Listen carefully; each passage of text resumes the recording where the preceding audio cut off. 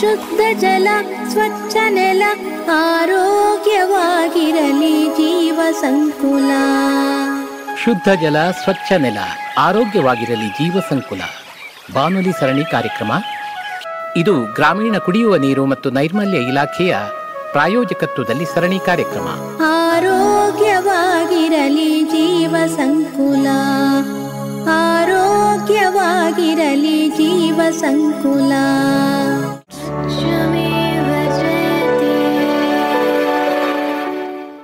ಜಲ ಸಂರಕ್ಷಣೆಯ ಒಂದು ರಚನೆ ಕಿಂಡಿ ಅಣೆಕಟ್ಟು ಕರಾವಳಿಯ ಅನೇಕ ಕಡೆಗಳಲ್ಲಿ ಉಪ್ಪು ನೀರಿನ ಸಮಸ್ಯೆ ಇದೆ. ಇಂಥ ಕಡೆಗಳಲ್ಲಿ ಶುದ್ಧ ನೀರಿನ ಸರಬರಾಜು ಆಗುವ ನೆಲೆಯಲ್ಲಿ ಇದು ಬಹಳ ಸಹಾಯಕಾರಿ. ಶಂಕರ್ ಶೆಟ್ಟಿ ಬೈಲುಮನೆ ಒಬ್ಬರು ಪ್ರಗತಿಪರ ಕೃಷಿಕರು. ಈ ಕಿಂಡಿ ಅಣೆಕಟ್ಟಿನಿಂದ ನಿಮಗೆ ಯಾವ ರೀತಿ ಪರಿಣಾಮಗಳಾಗಿದೆ? ಇದು ಆಗುವ ಮುಂಚೆ ನೀವು ನೀರಿಗಾಗಿ ಸಮಸ್ಯೆ ಎದುರಿಸಿದ್ದು ನಿರ್ಮಾಣ ಆದ ಮೇಲೆ ಏನೆಲ್ಲ ಲಾಭಗಳು ನಿಮಗಾಗಿವೆ? ನಾವು ತೋಡಿಗೆ ಕಟ್ಟ ಹಾಕುವಾಗ ಕಲ್ಲಿನ ಮತ್ತು ಮಣ್ಣಿನಲ್ಲಿ ಕಟ್ಟ ಹಾಕ್ತಾ ಇದ್ದೇವೆ ಬೆಳೆಗೆ. ಎರಡು ಬೆಳೆ ಆಗ್ತಾ ಇತ್ತು. ಅದಕ್ಕೆ ನಾವು ಕಿಂಡಿ ಅಣೆಕಟ್ಟಿಗೆ ಒಂದು ಅಪ್ಲಿಕೇಶನ್ ಕೊಟ್ಟಾಗ ಅವರು ಅದನ್ನು ಕಿಂಡಿ ಅಣೆಕಟ್ಟು ಮಾಡಿ ನಮಗೆ ಒಂದು ಸವಲತ್ತು ಮಾಡಿಕೊಟ್ರು. ಅದರಲ್ಲಿ ನಮಗೆ ತುಂಬ ಲಾಭ ಆಗಿದೆ ಸುಗ್ಗಿ ಬೆಳೆಗೆ ಮತ್ತು ತೆಂಗು, ಅಡಿಕೆ ಮತ್ತು ದನಗಳಿಗೆ ಹುಲ್ಲಿಗೆ, ಇದಕ್ಕೆಲ್ಲ ನಮಗೆ ಬಾವಿಯಲ್ಲಿ ನೀರು ಎಲ್ಲ ಜಾಸ್ತಿ ಆಗ್ತದೆ ಅದರಲ್ಲಿ. ನಮಗೆ ಅದರಿಂದ ತುಂಬ ಉಪಯೋಗ ಆಗ್ತಾ ಉಂಟು. ನೀವು ಈ ಭಾಗದ ರೈತರಾಗಿ ಎಷ್ಟು ಜಮೀನು ಹೊಂದಿದ್ದೀರಿ? ನೀವಲ್ಲದೆ ಬೇರೆ ಯಾರಿಗೆಲ್ಲ ಇದರ ಪರಿಣಾಮ ಆಗಿದೆ? ಅಂದರೆ ಇದರ ಲಾಭ ಆಗಿದೆ. ಬೆಳೆಗಳನ್ನು ಯಾವ ರೀತಿ ಹೆಚ್ಚು ಬೆಳೆ ಬೆಳೀತಾ ಇದ್ದಾರೆ? ಅಥವಾ ಕೃಷಿಗೆ ಆ ನೀರನ್ನು ಹೇಗೆ ಸದುಪಯೋಗಪಡಿಸಿಕೊಳ್ಳುತ್ತಿದ್ದಾರೆ ಅನ್ನೋದ್ರ ಬಗ್ಗೆ ಹೇಳ್ಬೋದಾ? ನಮ್ಮ ಈ ಕಟ್ಟದಲ್ಲಿ ನಮ್ಮ ನಮಗೆ ಒಂಬತ್ತು ಎಕರೆ ಜಮೀನು ತಾಯಿ ಹೆಸರಲ್ಲಿ ಇದ್ದು ಅದನ್ನು ನಾನು ನಾನು ಒಂಬತ್ತು ಜನ ಮಕ್ಕಳಿದ್ದೇವೆ ನಾವು. ಅದರಲ್ಲಿ ನಾನು ಊರಿನಲ್ಲಿದ್ದವ. ಅದನ್ನು ಬೇಸಾಯ ಮಾಡ್ತಾ ಇದ್ದೆ. ಮತ್ತು ಬದಿಯಲ್ಲಿ ನಮ್ಮ ಪಕ್ಕದ ಗದ್ದೆಗೆ ನೀರು, ಅವರು ಗದ್ದೆಗೆ ನಮ್ಮ ಗದ್ದೆಯಿಂದ ನೀರು ಅವರಿಗೆ ಬಿಟ್ಟು ಅವರು ಎರಡು ಬೆಳೆ ಮಾಡ್ತಾ ಇದ್ದೇವೆ ಈ ಭಾಗದಲ್ಲಿ ಯಾವೆಲ್ಲ ಬೆಳೆಗಳನ್ನು ಬೆಳಿತಾರೆ ಅಂದರೆ ಇಲ್ಲಿ ಸ್ವರ್ಣ ನದಿಯ ತಟದಲ್ಲಿ ಇರುವಂಥ ಊರಿದು. ಅದು ಉಪ್ಪು ನೀರಾಗುವಂಥ ಸಂಭವ ಇರ್ತದೆ ಕೆಲವೊಮ್ಮೆ. ಮಳೆಗಾಲ ಬಿಟ್ಟು ಬೇರೆ ಹೊತ್ತಿನಲ್ಲಿ ಉಪ್ಪು ನೀರಾಗ್ತದೆ. ಆ ನೀರನ್ನು ನೀವು ಕೃಷಿಗೆ ಉಪಯೋಗ ಮಾಡಲಿಕ್ಕೆ ಆಗುವುದಿಲ್ಲ ಇದೇ ನೀರನ್ನು ಉಪಯೋಗ ಮಾಡ್ತೀರಿ. ಇಲ್ಲಿ ಈ ಕಟ್ಟ ಹಾಕಿದ ಮೇಲೆ, ಅಂದರೆ ಈ ಕಿಂಡಿ ಅಣೆಕಟ್ಟಿನ ಬಳಿಕ ಎಷ್ಟು ನಿಮಗೆ ನೀರು ಶೇಖರಣೆ ಆಗ್ತದೆ? ಅದರಿಂದ ಲಾಭ ಹೇಗಾಗ್ತದೆ? ನಾವು, ನಮಗೆ ಬೇಕಾದಷ್ಟು ಹಲಿಗೆ ಉಂಟು. ಹಲಿಗೆ ಹಾಕಿ ಅದರಲ್ಲಿ ಮಣ್ಣು ತುಂಬಿಸಿ ಕಟ್ಟ ಹಾಕ್ತೇವೆ. ಹಲಿಗೆ ಗ, ಸರ್ಕಾರದವರೇ ನಮಗೆ ಒದಗಿಸಿಕೊಟ್ಟಿದ್ದು ಅದಕ್ಕೆ ನಾವು ಬೇಕಾದಾಗ ಏಪ್ರಿಲ್ ಲಾಸ್ಟ್ವರೆಗೆ ನೀರು ಇರ್ತದೆ.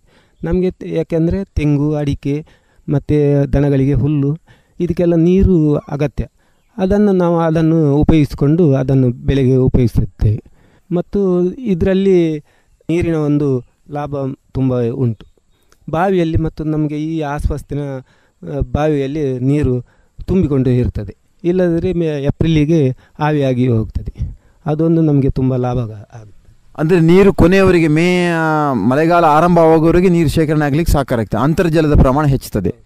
ಈ ಕಿಂಡಿ ಅಣೆಕಟ್ಟು ನಿರ್ಮಾಣ ಆಗುವ ಮುಂಚೆ ನೀವೇ ಕ, ಅದನ್ನು, ಎಲ್ಲರೂ ಸೇರಿಕೊಂಡು ಕಟ್ಟ ಹಾಕ್ತಿದ್ರಿ ಆವಾಗ ಇಷ್ಟು ನೀರು ಶೇಖರಣೆ ಆಗ್ತಿತ್ತಾ? ಇಲ್ಲ, ಕಡಿಮೆ ಆಗಿತ್ತು. ಅದು ಏಕೆಂದರೆ ನಾವು ಅದು ಏಡಿಗಳು ಎಲ್ಲ ಇರ್ತೇವೆ ಬ, ತೋಡಿನಲ್ಲಿ.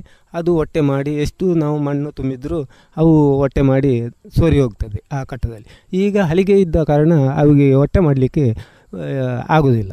ಆದ್ದರಿಂದ ನೀರು ಲಾಸ್ಟ್ವರೆಗೆ ನಮಗೆ ಇರ್ತದೆ. ಸುಮಾರು ಎಷ್ಟು ಜನ ರೈತರಿಗೆ ಇದರಿಂದ ಪರಿಣಾಮ ಆಗಿದೆ, ಅವರಿಗೆಲ್ಲ ಬಹಳ ಖುಷಿ ಇದೆ, ಮತ್ತು ಬೆಳೆ ಬೆಳೆಯುವಂಥ ಪ್ರಮಾಣ ಹೆಚ್ಚಾಗಿದೆ ಅಂತ ನೀವು ಹೇಳ್ತೀರಾ? ಹತ್ತು ಇಪ್ಪತ್ತು ಎಕರೆ ಜಮೀನು ಇರ್ತದೆ ಇದು ಆಸ್ಪತ್ರೆಯಲ್ಲಿ, ಅವರಿಗೆಲ್ಲ ಇದರಲ್ಲಿ ಉಪಯುಕ್ತ ಆಗಿದೆ. ಮುಂಚೆ ನಾವು ಉದ್ದು ಹೆಸರು ಹುರುಳಿ ಎಲ್ಲ ಹಾಕ್ತೇವೆ. ಈಗ ಪಶುಗಳ ಇದು ಜಾಸ್ತಿ ಆದ್ದರಿಂದ ನವಿಲು, ಹಂದಿ, ಇವುಗಳ ಕಾಟದಿಂದ ನಮಗೆ ಅದೊಂದು ಮಾಡಲಿಕ್ಕೆ ಅಸಾಧ್ಯ ಆಗ್ತದೆ.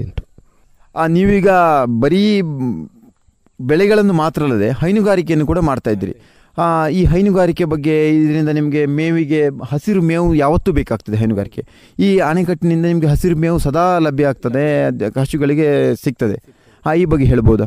ಇದರಲ್ಲಿ ನಮಗೆ ಏನಂದರೆ ಹುಲ್ಲಿನ ಅಭಾವದಿಂದ ಈಗ ನಮಗೆ ದನಗಳಿಗೆ ಹಸಿ ಹುಲ್ಲು ಅಗತ್ಯ. ಹಸಿ ಹುಲ್ಲು ಈ ನೀರಿನ ಇರುವುದರಿಂದ, ಲಾಭ ಇರುವುದರಿಂದ ನಮ್ಮ ಗದ್ದೆಗೆ ಜೋಳವನ್ನು ಹಾಕಿ ಹಸಿರು ಹುಲ್ಲು ಹೆಚ್ಚು ಮಾಡ್ತಾ ಇದ್ದೇವೆ ಅದರಲ್ಲಿ ನಮಗೆ ಹಸಿ ಹಸಿ ಹುಲ್ಲು ಇದ್ದಾಗ ಹಾಲಿನ ಅಂಶ ಜಾಸ್ತಿ ಆಗ್ತದೆ. ದನಗಳಿಗೆ ಒಣ ಹುಲ್ಲು ಕಡಿಮೆ ಬೇಕಾಗುತ್ತದೆ. ಇದು ನಮಗೆ ಹೈನುಗಾರಿಕೆಯವರಿಗೆ ತುಂಬ ಲಾಭ ಒಂದು ಅಂಶ. ಅದರಲ್ಲಿ ಪ್ರಮುಖವಾಗಿ ಅಡಿಕೆಯನ್ನು ಹೆಚ್ಚಿನವರು ರೈತರು ಬೆಳೀತಾ ಇದ್ದಾರೆ. ಅದನ್ನು ಅದರಿಂದ ಲಾಭದಾಯಕ ಬೆಳೆ ಮತ್ತು ಉತ್ತಮವಾದ ವಾಣಿಜ್ಯ ಬೆಳೆ ಕೂಡ. ನೀವು ಹೈನುಗಾರಿಕೆಯಲ್ಲಿ ಸುಮಾರು ಎಷ್ಟು ದನಗಳನ್ನು ಸಾಕಿದ್ದೀರಿ? ಯಾವ ತಳಿ ವಿಶೇಷತೆಗಳು? ಮತ್ತು ಹಾಲನ್ನು ಹೇಗೆ ಸ ಇದು ಮಾಡ್ತೀರಿ? ಡೈರಿಗೆ ತಲುಪ್ತೀರಿ? ಅಥವಾ ಸ್ಥಳೀಯ ಹೇಗೆ ಮಾರಾಟ ಮಾಡ್ತೀರಾ? ಇದ್ರ ಬಗ್ಗೆ ನಿಮ್ಮ ಹೈನುಗಾರಿಕೆ ಅನುಭವವನ್ನು ಹೇಳ್ಬೋದು? ನಮ್ಗೆ ಹೈನುಗಾರಿಕೆ ಅಂದರೆ ನನ್ನ ಹತ್ರ ಒಂದು ಹತ್ತು ದನಗಳಿದ್ದಾವೆ. ಸಾಧಾರಣ ಒಂದು ಅದಕ್ಕೆ ಹುಲ್ಲಿನ ಅಂಶ ನಮಗೆ ಕಡಿಮೆ ಇದ್ದ ಕಾರಣ ಹಾಲಿನ ಅಂಶ ಅಂತ ಸ್ವಲ್ಪ ಕಡಿಮೆ ಅಂತ ಈಗ ಜೋಳ ಹಾಕಿದ ಕಾರಣ ಸ್ವಲ್ಪ ಹಾಲು ಉತ್ತಮ ರೀತಿಯಲ್ಲಿ ಜಾಸ್ತಿ ಆಗ್ತಾ ಉಂಟು. ಅದರಲ್ಲಿ ನಾನು ಈಗ ಕಡಿಮೆ ಅಂದರೆ ಒಂದು ಐ- ದಿನ ಇಡೀಗೆ ಒಂದು ಐವತ್ತು ಲೀಟ್ರ್ ಹಾಲು ಹಾಕ್ತಾ ಇದ್ದೀನಿ. ಅದರಲ್ಲಿ ನಾವು ಏನಂದರೆ ಒಂದೇ ಸಲ ಎಲ್ಲ ದನ ಕರೆಯುವಂಥದ್ದು ಮಾಡೋದಿಲ್ಲ. ಯಾಕೆಂದರೆ ಅದು ವರ್ಷ ಇಡೀ ಹಾಲಿನ ಅಂಶ ನಮಗೆ ಒಂದೇ ರೀತಿ ಇದ್ದರೆ ಅವುಗಳಿಗೆ ಸಾಕಾಣಿಕೆಗೆ, ಹಿಂಡಿಗೆ ಒಂದು ಲಾಭ ಆಗ್ತದೆ. ಏನಂದರೆ ಒಂದು ಒಂದು ದನ ಕರು ಹಾಕಿದಾಗ ಮತ್ತೊಂದು ಗಬ್ಬದು ಇರ್ತದೆ. ಆದ ಕಾರಣ ನಮಗೆ ವರ್ಷ ಇಡೀ ಒಂದೇ ರೀತಿ ಹಾಲಿದ್ದರೆ ನಮಗೆ ಖರ್ಚಿ ಕಡಿಮೆ ಆಗ್ತಾ ಇರ್ತದೆ. ನಾವು ಮತ್ತು ಹಾಲಿನ ಇದನ್ನು ಲೋಕಲ್ ಸೇಲ್ ಇಲ್ಲಿ ಮಾಡೋದಿಲ್ಲ. ಯಾಕಂದರೆ ಡೈರಿಗೆ ಹಾಕಿರಿ ಕೊಂಡೋದಾಗ ನಮಗೆ ಅಲ್ಲಿ ಫ್ಯಾಟ್ ಡಿಗ್ರಿ ಜಾಸ್ತಿ ಬಂದಾಗ ಜಾಸ್ತಿ ರೇಟ್ ಸಿಗ್ತದೆ ಸಿಗ್ತದೆ. ಮತ್ತು ಏನಂದರೆ ಗೌರ್ಮೆಂಟಿದ್ದು ಒಂದು ಸಬ್ಸಿಡಿ ರೈತರಿಗೆ ಲೀಟ್ರಿಗೆ ಆರು ರೂಪಾಯಿ ಒಂದು ಸಿಗ್ತದೆ. ಅದು ಒಂದು ನಮಗೆ ತುಂಬ ಲಾಭ ಹೈನುಗಾರಿಕೆಯಲ್ಲಿ. ಇದರ ಜೊತೆಗೆ ನೀವು ಮಳೆಗಾಲದಲ್ಲಿ ಭತ್ತ ಬೆಳಿತೀರಿ ಈಗ ಕೂಡ ಭತ್ತ ಬೆಳೀತಾ ಇದ್ದೀರಾ? ಅಥವಾ ಇನ್ಯಾವುದು ವಾಣಿಜ್ಯ ಬೆಳೆಗಳು ಅಥವಾ ಈ ಧಾನ್ಯಗಳನ್ನೆಲ್ಲ ಬೆಳೀತಾ ಇದ್ದಾರಾ? ಆ ಕೃಷಿ ಬೆಳೀಲಿಕ್ಕೆ ನಿಮಗೆ ಇಲ್ಲಿ ಕೃಷಿ ಮಾಡಲಿಕ್ಕೆ ಮತ್ತು ಹೈನುಗಾರಿಕೆ ಮಾಡಲಿಕ್ಕೆ ಸವಾಲುಗಳಂತೂ ಇದ್ದೇ ಇರ್ತವೆ. ಯಾವ ಥರದ ಸವಾಲುಗಳನ್ನು ನೀವು ಎದುರಿಸ್ತಾ ಇದ್ದೀರಿ? ನಾವು ವರ್ಷ ಇಡೀ ಅಂದರೆ ಮುಂಚೆ ಎರಡು ಬೆಳೆ ಮಾಡ್ತೇವೆ. ಎರಡು ಬೆಳೆ ಮಾಡ್ತೇವೆ. ಈಗ ಅಂದರೆ ಹಂದಿ ಮತ್ತು ನವಿಲಿನ ಕಾಟ ಇದ್ದ ಕಾರಣ ನಮಗೆ ಎರಡು ಬೆಳೆ ಮಾಡಲಿಕ್ಕೆ ಅಸಾಧ್ಯ ಆಗ್ತದೆ. ಅದಕ್ಕೆ ನಾವು ದನಗಳಿಗೆ ಮೇವಿಗೆ ಇದರಿಂದ ಜೋಳವನ್ನು ಜಾಸ್ತಿ ಮಾಡ್ತಾ ಇದ್ದೇವೆ ಅದರಲ್ಲಿ ನಮಗೆ ಒಣ ಹುಲ್ಲುಗಿಂತ ಹಸಿ ಹುಲ್ಲು ಇದ್ದರೆ ನಮಗೆ ಹಾಲಿನ ಅಂಶ ಜಾಸ್ತಿ, ಖರ್ಚು ಕಡಿಮೆ ಇದೆಲ್ಲ ಆಗ್ತಾ ಉಂಟು. ಮುಂಚೆ ಇದೆಲ್ಲ ಎರಡು ಬೆಲೆ ಆಗ್ತಾ ಉಂಟು. ಈಗ ಕಾಡಿನ ಇದು ಕಾಟದಿಂದ ನಮಗೆ ತುಂಬ ತೊಂದರೆ ಉಂಟು. ಮಂಗಗಳು, ನವಿಲು ಮತ್ತು ಹಂದಿ ಕಾಟದಿಂದ ಎರಡು ಬೆಲೆಗೆ ಅಸಾಧ್ಯ ಆಗದ ಆಗ್ತಾ ಉಂಟು. ಅದಕ್ಕೆ ನಾವು ಈಗ ಜೋಳ, ಹಸಿ ಹುಲ್ಲು ಇದನ್ನು ಬೆಳೀತಾ ಇದ್ದು ಉಂಟು. ಸಾಮಾನ್ಯವಾಗಿ ಸವಾಲುಗಳ ನಡುವೆ ರೈತ ಕೃಷಿಯನ್ನು ಮಾಡಬೇಕಾಗ್ತದೆ. ನಿಮ್ಮಲ್ಲಿ ಸುಮಾರು ಹತ್ತು ಹನ್ನೆರಡು ಜಾನುವಾರುಗಳು ಇವೆ. ಇದನ್ನು ಸ್ವಚ್ಛತೆಯನ್ನು ಮಾಡಿಕೊಳ್ಳಿಕ್ಕೆ ಅಥವಾ ಅವುಗಳಿಗೆ ನೀರು ಕುಡಿಯುವ ನೀರೆಲ್ಲ ಸಾಕಷ್ಟು ಪ್ರಮಾಣದಲ್ಲಿ ಬೇಕಾಗ್ತದೆ. ನೀವು ಈ ಜಲಾನಯನ ಇಲಾಖೆ ನಿರ್ಮಾಣದ ಕಿಂಡಿ ಅಣೆಕಟ್ಟನ್ನು ಬಳಸ್ಕೊಂಡು ಅದರ ಲಾಭವನ್ನು ಪಡಿತೀರಾ? ಅಥವಾ ಮನೆಯಲ್ಲಿ ಅಥವಾ ಬಾವಿಯ ಮೂಲಕ ಏನಾದರೂ ನೀರಿನ ವ್ಯವಸ್ಥೆ ಮಾಡ್ತೀರಿ? ಏನು ಮಾಡ್ತೀರಿ? ಸ್ವಲ್ಪ ದಿನ ನಮಗೆ ಇದು ಜಲಾನಯನದ ಅಣೆಕಟ್ಟೆಯಿಂದ ಅವು ಬಯಲಿನಲ್ಲಿ ಮೇಯಿಸಿಗೆ ಬಂದಾಗ ಅಲ್ಲಿ ತೊಳೆಯುತ್ತೇವೆ ತೋಡಿನಲ್ಲಿ. ಮತ್ತು ನಮಗೆ ಬಾವಿ ಮಾಡಿದೆ, ಬೋರು ಅಂತ. ಅದರಲ್ಲಿ ನಾವು ಉಪಯೋಗ ಮಾಡಿ ಹಟ್ಟಿಗೆ ಪಂಪು ನೀರಿನ ವ್ಯವಸ್ಥೆ ಮಾಡಿ ಅಲ್ಲಿ ಪೈಪ್, ಪೈಪಿನಲ್ಲಿ ನೀರು ಟ್ಯಾಂಕಿಗೆ ಕಟ್ಟಿ ಪೈಪಿನಲ್ಲಿ ನೀರು ದನಗಳಿಗೆ ಮೂರು ಹೊತ್ತು ತೊಳೆಯುತ್ತೇವೆ. ಹಟ್ಟಿಗೆ ಎಲ್ಲ ನೀರು ಅದರಲ್ಲಿ ಉಪಯೋಗ ಮಾಡ್ತೇವೆ. ಓರ್ವ ರೈತನಾಗಿ ನೀವು ಬೆಳಿಗ್ಗೆ ಎಷ್ಟು ಗಂಟೆಗೆ ಎದ್ದು ಈ ಜನ್ ಜಾನುವಾರುಗಳ ಕೆಲಸ ಆರಂಭಿಸ್ತೀರಿ? ಡೈರಿಗೆ ಹಾಲು ಕೊಡುವುದರಿಂದ ಹಿಡಿದು ಅವುಗಳಿಗೆ ಮೇವು, ಅವುಗಳನ್ನು ಮೇಯಿಸ್ಲಿಕ್ಕೆ ಕರ್ಕೊಂಡು ಹೋಗುವಂಥದ್ದು, ಮತ್ತು ಮನೆಗೆ ಮರಳಿ ತರ ತರುವಂಥದ್ದು, ಹೀಗೆ ದಿನವಿಡೀ ನಿಮ್ಮ ಚಟುವಟಿಕೆ ಇರ್ತದೆ. ಈ ಬಗ್ಗೆ ಹೇಳ್ಬೋದು? ನಿಮಗೆ ಯಾರು ಸಹಕಾರಿ ಇದ್ದಾರೆ ಮನೆಯಲ್ಲಿ? ನಾವು ಎರಡು ಮಕ್ಕಳು ಮತ್ತು ನಾಲ್ಕು ಜನ ಇರೋದು, ಹೆಂಡತಿ, ನಾನು, ಮತ್ತು ಎರಡು ಮಕ್ಕಳು ಇರುವುದು ಅವರು ಕಲಿತಾ ಇದ್ದಾರೆ. ಮತ್ತು ನಾವು ಅಂದರೆ ದನ ಕಟ್ಟಿದವನಿಗೆ ಎಷ್ಟೊತ್ತು ಇದು ಸಮಯ ಸಾಕಾಗೋದಿಲ್ಲ ಯಾಕೆಂದರೆ ಅವುಗಳಿಗೆ ಹೊತ್ತು ಹೊತ್ತು ಹಿಂಡಿ, ನೀರು ಎಲ್ಲ ಕೊಡಬೇಕಾಗ್ತದೆ. ನಾನು ಸದ್ಯದಲ್ಲಿ ಈಗ ನಾಲ್ಕು ಗಂಟೆ ಮುಂಜಾನೆ ಎದ್ದು ಅವುಗಳನ್ನು ಹಿಂಡಿ ಕೊಟ್ಟು ಮತ್ತು ಅವುಗಳಿಗೆ ಮೇಯೆಲ್ಲ ತೊಳೆದು, ಹಟ್ಟಿ ತೊಳೆದು ಮತ್ತು ಕರೆಯುತ್ತೇನೆ. ಕರೆದು ಕರೆದ ನಂತರ ಆರು ಗಂಟೆಗೆ ನಾನು ಡೈರಿಗೆ ಹೋಗಿ ಅಲ್ಲಿ ಆರು ಆರು, ಆರೂವರೆಗೆ ಆರು ಮೂವತ್ತಕ್ಕೆ ಡೈರಿ ಓಪನ್ ಆಗ್ತದೆ. ಅಲ್ಲಿ ಹಾಲು ಹಾಕಿ ಬಂದವ. ಏಳುವರೆಗೆ ಮನೆ ಬರ್ತದೆ. ಮನೆ ಬಂದು ಅವುಗಳನ್ನು ಮೇಯಿಸಿಗೆ ಬಿಡುತ್ತೇನೆ.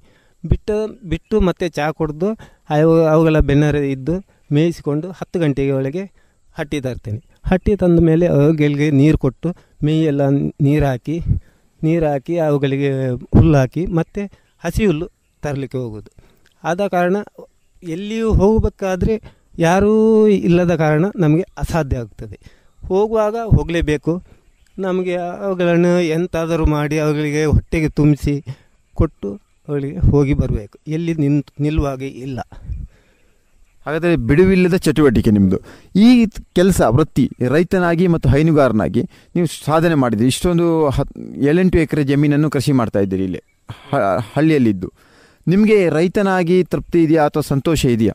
ನಮಗೆ ಏನಂದರೆ, ಅವುಗಳನ್ನು ಒಳ್ಳೆಯ ರೀತಿಯಲ್ಲಿ ಸಾಕಿರೆ ನಮ್ಮದು ಕುಟುಂಬದ ಜೀವನ ಒಳ್ಳೆಯ ರೀತಿಯಲ್ಲಿ ನಡೀತದೆ. ಯಾರಂತೂ ಕೈಯಲ್ಲಿ ಕಾಯುವಂಥದ್ದು ನಮಗೆ ಹೇಳಿರೋದಿಲ್ಲ ಯಾಕೆಂದರೆ ವರ್ಷ ಇಡೀ ಅವುಗಳನ್ನು ಸಾಕಿದರೆ ಒಳ್ಳೆಯ ರೀತಿಯಲ್ಲಿ ಸಾಕಿದಾಗ ಅವುಗಳ ನಮಗೆ ಹಾಲು ತುಂಬ ಜಾಸ್ತಿ ಕೊಡ್ತವೆ. ಅದರಿಂದ ಖರ್ಚು ಕಡಿಮೆ ಆಗಿ ನಮಗೆ ಲಾಭ ಸ್ವಲ್ಪ ದೊರೆಯುತ್ತದೆ. ಹೆಚ್ಚಿಗೆ ಆಗಿ ದೊರೆಯುತ್ತದೆ.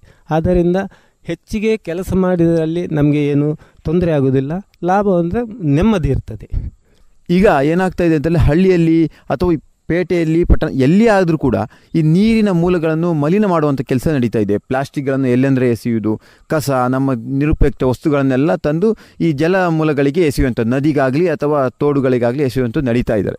ಎಲ್ಲೇ ಎಲ್ಲ ಕಡೆಯಲ್ಲಿ ಇದು ಸರ್ವೇ ಸಾಮಾನ್ಯವಾಗಿದೆ. ನಮಗೆ ಬೇಡ ಆದ ವಸ್ತುಗಳನ್ನು ಎಸೆದು ಬಿಡುವಂಥದ್ದು ಆ ಒಂದು ಬಗ್ಗೆ ನೀವು ಜಾಗೃತಿಯಾಗಿ ಏನಾದರೂ ಹೇಳ್ತೀರಾ? ಈ ಥರ ಜಲಮಾಲಿನ್ಯ ಜಲ ಮಾಲಿನ್ಯ ಮಾಡಬಾರ್ದು, ಜಲ ಸಂರಕ್ಷಣೆ ಆಗಬೇಕು ಮತ್ತು ಜಲ ಮೂಲಗಳು ಸ್ವಚ್ಛವಾಗಿ, ಶುದ್ಧವಾಗಿ ಇರಬೇಕು ಅನ್ನುವಂಥದ್ದು ನಮ್ಮ ಆಶೆ. ಈ ಬಗ್ಗೆ ನೀವು ಏನು ಹೇಳ್ತೀವಿ ಸರ್? ಅದಂದ್ರಲ್ಲಿ ನಾವು ಕಸ ಎಲ್ಲ ಬದಿಯಲ್ಲಿ, ರಸ್ತೆ ಬದಿಯಲ್ಲಿ ಹಾಕಿದಾಗ ದನಗಳಿಗೆ ಮೇವು ಇಲ್ಲದ ಕಾರಣ ಅವುಗಳನ್ನು ಕೆಲವು ದನಗಳು ತಿನ್ನುತ್ತದೆ ಆ ತಿಂದ ಕಾರಣ ಅದು ಜೀರ್ಣೆಗೆ ಆಗುವುದಿಲ್ಲ ದನಗಳಿಗೆ. ಅದಕ್ಕೆ ಏನಾದರೂ ಕಾಯಿಲೆ ಬರ್ತದೆ. ಕಾಯಿಲೆ ಬಂದಾಗ ಮದ್ದು ನಡೆಯುವುದಿಲ್ಲ. ಅಕಸ್ಮಿತವಾಗಿ ಅವು ಸಾಯುತ್ತವೆ ಕೆಲವು. ಅದಕ್ಕೆ ನಾವು ಕೆಲವರ ಹತ್ರ ಹೋಟೆಲು, ಇದು, ಆ ಅಂಗಡಿ ಮಾಡಿದವರನ್ನು ಹೇಳ್ತೇವೆ. ಇಲ್ಲಿ ನೀವು ಹಾಕೋದು ಬೇಡ, ನಮ್ಮ ದನಗಳನ್ನು ಮೇಯಿಸ್ತಾ ಇದ್ದೀವಿ ಅವುಗಳು ತಿಂದಾಗ ಅವುಗಳಿಗೆ ಜೀರ್ಣ ಆಗೋದಿಲ್ಲ ಅವು ಸಾಯ್ತವೆ. ಅದಕ್ಕೆ ನೀವು ಒಂದು ಹೊಂಡ ಮಾಡಿ ಹಾಕಿ, ಅದಕ್ಕೆ ಕಡೆಗೆ ಲಾಸ್ಟಿಗೆ ಬೆಂಕಿ ಹಾಕಿ, ಅದನ್ನು ನೀವು ಬಿಸಾಡಬೇಡಿ ಅಂತ ಹೇಳ್ತಾ ಇದ್ದೇವೆ. ಅದನ್ನು ಪ್ರತ್ಯೇಕಿಸುವಂಥ ಪ್ರಶ್ನೆ ಇಲ್ಲ. ಎಲ್ಲೆಂದರಲ್ಲಿ ಬಿಸಾಡ್ತಾರೆ? ನೀವು ಇದನ್ನು ಕಂಡು, ಇದನ್ನು ತಡೆಯುವಂಥ ಪ್ರಯತ್ನ ಮಾಡಿದ್ದುಂಟಾ? ನಾವು ನಾವು ಕಂಡಲ್ಲಿ ನಮ್ಮ ಜಾಗದ ಹತ್ತಿರದಲ್ಲಿ ಕಸ ಪ್ಲಾಸ್ಟಿಕ್ ಅಲ್ಲಿ ಇದ್ದರೆ ಅವುಗಳನ್ನು ನಾವು ದನ ಬಿಟ್ಟಾಗ ಅವುಗಳನ್ನು ನಮಗೆ ಸಮಯ ಇರ್ತದೆ. ಆಗ ಹೆಕ್ಕಿ, ಒಂದು ಬದಿಯಲ್ಲಿ ರಾಶಿ ಹಾಕಿ ಮತ್ತು ಅದಕ್ಕೆ ಸ್ವಲ್ಪ ಎಣ್ಣೆ ಹಾಕಿ ಅದನ್ನು ಸುಟ್ಟು ಬೂದಿ ಮಾಡ್ತೇವೆ. ಬೂದಿ ಮಾಡಿ ಇದಾಡ್ತೇವೆ. ಅದು ಅಲ್ಲಿ ಸಿಕ್ಕಿದಾಗ ಆಚೆ ಅದನ್ನು ಬಿಡುವುದಿಲ್ಲ. ಯಾಕೆಂದರೆ ದನಗಳು ತಿಂತವೆ. ಮತ್ತು ಕಾಯಿಲೆಗಳು ಜಾಸ್ತಿ ಬರ್ತವೆ. ನಾಯಿಗಳಿದ್ದಾಗ ಆ ಒಂದು ಕಡೆಯಿಂದ ತಿನ್ನಲಿಕ್ಕೆ ಅದರಲ್ಲಿ ಸಿಗ್ತವೆ. ಕೆಲವರು ಹೋಟೆಲ್ನಲ್ಲಿ ಉಳಿದನ್ನು ಪ್ಲಾಸ್ಟಿಕ್ ತೊಟ್ಟೆಯಲ್ಲಿ ಹಾಕಿ ಬಿಸಾಡ್ತಾರೆ. ಅವುಗಳನ್ನು ನಾಯಿಗಳು ಕೊಂಡೋಗಿ ಎಲ್ಲೆಲ್ಲಿ ಬಿಸಾಡ್ತದೆ. ಅದರಲ್ಲಿ ಕಾಯಿಲೆಗಳು ತುಂಬ ಬರ್ತದೆ. ಅದಕ್ಕೆ ನಾವು ಏನು ನೋಡಿದಾಗ ಅದನ್ನು ಹೆಕ್ಕಿಕೊಂಡು ಬಂದು ಒಂದು ಬದಿಯಲ್ಲಿ ಹೊಂಡ ಹಾಕಿ ಅದಕ್ಕೆ ಬೆಂಕಿ ಹಾಕುತ್ತೇವೆ. ಈಗ ಇಲ್ಲಿ ಜಲಾನಯನ ಇಲಾಖೆಯಿಂದ ನಿರ್ಮಾಣವಾದ ಅಣೆಕಟ್ಟಿದೆ ಇದರ ನಿರ್ವಹಣೆ ನೀವು ನೀವು ಸಹಕಾರಿಯಾಗಿ ಮಾಡ್ತೀರಾ? ಅಥವಾ ಸರ್ಕಾರದವರೇ ಬಂದು ಪ್ರತಿ ವರ್ಷ ಈ ನವೆಂಬರ್ ಅಥವಾ ಅಕ್ಟೋಬರ್ ಕೊನೆಯಲ್ಲಿಯೋ ನವೆಂಬರ್ನಲ್ಲಿ ಅದನ್ನು ತಡೆಯುವಂಥ ನೀರನ್ನು ತಡೆಯುವಂಥ ಪ್ರಕ್ರಿಯೆಗಳನ್ನು ಮಾಡ್ತಾರೆ. ಈ ಪ್ರಕ್ರಿಯೆ ಹಿಂದೆ ನೀವೇ ಸ್ವಯಂ ಎಲ್ಲರೂ ಸೇರಿಕೊಂಡು ಇಲ್ಲಿನ ರೈತರೆಲ್ಲ ಮಾಡ್ತಾ ಇದ್ರಿ. ಈಗ ಸರ್ಕಾರದ ವತಿಯಿಂದನೇ ಅನುದಾನ ಬರ್ತದೆ ಹೇಗೆ? ಇಲ್ಲ, ಒಂದು ಸಲ ಮಾತ್ರ ಅವರು ಕಟ್ಟು ಹಾಕಿ ಅಣೆಕಟ್ಟು ಹಾಕಿ ಕೊಟ್ಟು, ಹಲಿಗೆ ಕೊಡ್ತಾರೆ.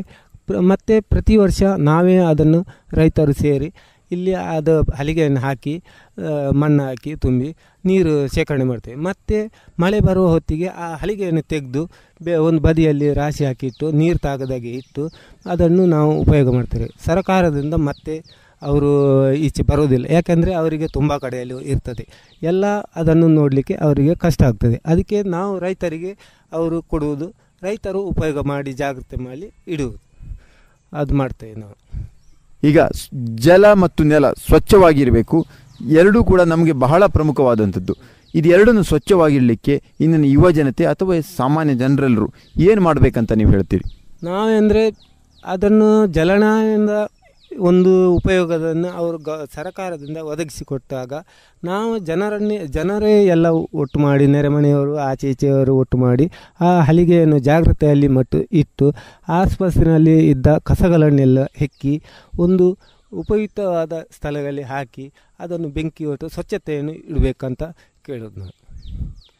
ಧನ್ಯವಾದಗಳು. ಇಷ್ಟೊತ್ತು ನಮ್ಮೊಂದಿಗೆ ಮಾತನಾಡೋದಕ್ಕೆ ಥ್ಯಾಂಕ್ ಯು ಕೃಷಿ ಹಾಗೂ ಕುಡಿಯುವ ನೀರಿನ ಸಮಸ್ಯೆಯ ಪರಿಹಾರಕ್ಕಾಗಿ ಕಿಂಡಿ ಅಣೆಕಟ್ಟುಗಳ ಸದುಪಯೋಗ. ಕೃಷಿಕ ಶಂಕರ್ ಶೆಟ್ಟಿ ಬೈಲುಮನೆ ಅವರೊಂದಿಗೆ ನಡೆಸಿದ ಸಂದರ್ಶನ ಕೇಳಿದಿರಿ. ಇದು ಇಂದಿನ ರೇಡಿಯೋ ಸರಣಿ. ಶುದ್ಧ ಜಲ ಸ್ವಚ್ಛ ನೆಲ ಬಾನುಲಿ ಸರಣಿಯ ನೂರಿಪ್ಪತ್ತೊಂದನೆಯ ಸಂಚಿಕೆ ಇದು. ಶುದ್ಧ ಜಲ ಸ್ವಚ್ಛ ನೆಲ ಆರೋಗ್ಯವಾಗಿರಲಿ ಜೀವ ಸಂಕುಲ. ಶುದ್ಧ ಜಲ ಸ್ವಚ್ಛ ನೆಲ ಆರೋಗ್ಯವಾಗಿರಲಿ ಜೀವ ಸಂಕುಲ. ಬಾನುಲಿ ಸರಣಿ ಕಾರ್ಯಕ್ರಮ ಇದು ಗ್ರಾಮೀಣ ಕುಡಿಯುವ ನೀರು ಮತ್ತು ನೈರ್ಮಲ್ಯ ಇಲಾಖೆಯ ಪ್ರಾಯೋಜಕತ್ವದಲ್ಲಿ ಸರಣಿ ಕಾರ್ಯಕ್ರಮ. ಆರೋಗ್ಯವಾಗಿರಲಿ ಜೀವ ಸಂಕುಲ. ಆರೋಗ್ಯವಾಗಿರಲಿ ಜೀವ ಸಂಕುಲ.